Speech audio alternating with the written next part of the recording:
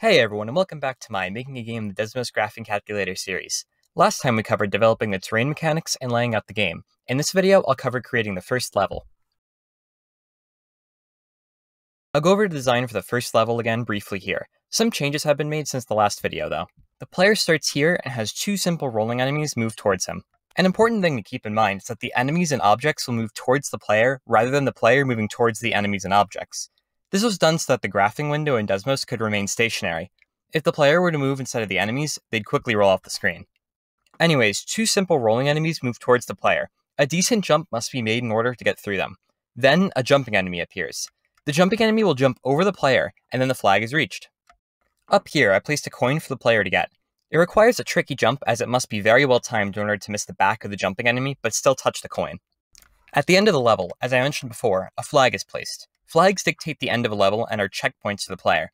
If a player were to die somewhere in level 2, they would respawn at the end of level 1 at the flag instead of restarting the entire game over. So with all the explanation out of the way, let's talk about the enemies. I'll start by adding in the first rolling enemy. Before I get too into it though, I'd like to go over how I'm making the equation of the enemy circles. If you're already familiar with how I'm plotting the circles though, you can go to the timestamp on screen now. The standard equation for a circle is this. To begin, x and y are a set of values that make the equation true. H is the x offset of the circle.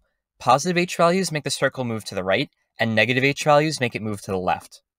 k works the same way, but with the y offset of the circle. Positive k values make the circle move up, and negative k values make it move down. Our k value, or the y offset, is very simple. We want the enemy to rest on the same ground as the player, and since the enemies are half of the player's size, we can make k z times 1 half, or half of the player's radius. Okay, but what should we do with the x offset or the h value? Well, what we can do is make it vary with time. So if we place h with t, which is our time variable, the circle will move right as time increases. Ideally, we want the enemies to start on the right and move left towards the player, though. So what we can do is create an offset amount for the player to begin at, and subtract time from that to create a circle that moves left with time and starts at a specific value. We can also make the circle move faster by adding a coefficient in front of the time variable, which dictates the circle's speed in units per second. We can see that here a bigger coefficient makes the circle move faster. Alright, now with all that out of the way, let's talk about adding our first enemy. After quite a bit of consideration, I decided to make him move 10 units per second and start at 20 units. As you can see here, this makes him move fast enough that the player can comfortably jump over him. He also starts far enough away that the player has enough time to react, and close enough that the player isn't waiting a long time for the enemy to come closer. He's pretty close to complete, but you can see that he can pass right through me with no repercussions. What we need is to implement collision detection. I covered how to do this fully in my physics and collisions video on screen now, but I'll give a quick rundown of what I need to do. In effect, what we'll do is find the distance between the centers of the player and enemy circles, and if they're within a player's radius plus the enemy's radius, this means the circles are touching or intersecting. The equation will then tell the defeat screen to trigger. Past me has been adding this in over my explanation. Here you see that as I touch the enemy, the defeat screen triggers. I added a reset variable up top that if I trigger it, the level restarts. Alright, now let's move on to the second enemy. The second enemy is very similar to the first. I made it start at 30 units, or 10 units further back than the first enemy. Initially, I thought that the player would have a difficult time getting through such a small gap, but it ended up feeling pretty solid to jump over. Again, I added collision for this enemy too, very similar to what I did before. The last part of this level involves this jumping enemy. Now, I went in depth on how each enemy functions in the video on screen now, but if you forget, I'll briefly cover it again. The jumping enemy is very similar to the rolling enemies, except their K value differs a little we decided that the absolute value of sine of t could be used to make a jumping motion. Adding that onto the equation and testing the enemy, you see that he has a very shallow and long jump. This is easily fixed though by adding a constant in front of the whole block, which functions as a height control, and adding a constant in front of the time variable here, which functions as a frequency control. After playing around with a few different values, I eventually settled on these. Now as the jumping enemy approaches the player, as long as the player doesn't jump, he'll pass right over the player. We. The idea of this guy is to trick the player into thinking they need to jump when really doing absolutely nothing is the best course of action. After him is where the real challenge of the level comes in. The challenge coin will be placed right after him so that right after the player passes under the jumping enemy, a really well timed jump will be required to snag the coin.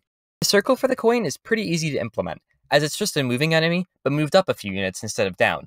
After a lot of trial and error, I decided to put the coin 7 units high and to begin at 50 units.